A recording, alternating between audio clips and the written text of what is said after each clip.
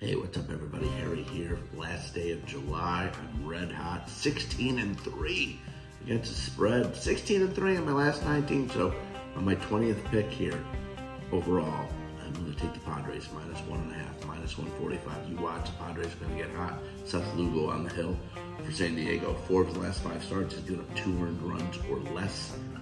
The Rockies just 6 and 19 against National League West teams this year. They're just two and five in the last seven. Give me the Padres. They keep rolling. Minus the one and a half, minus 145 on Monday.